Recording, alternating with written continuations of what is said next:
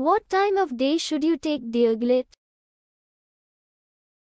It is usually prescribed once daily and can be taken at any time of the day but preferably at the same time each day. It can be taken with or without food. You should take Diaglit exactly as prescribed by your doctor.